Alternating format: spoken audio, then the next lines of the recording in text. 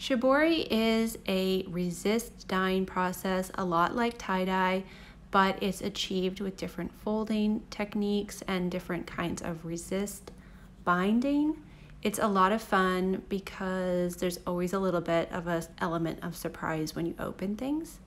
These are examples from my online workshop, and I will put the link down below in case you're interested in taking a workshop with me. These are all dyed with indigo, which is a really awesome, special kind of dye. And I just love all of the different possibilities.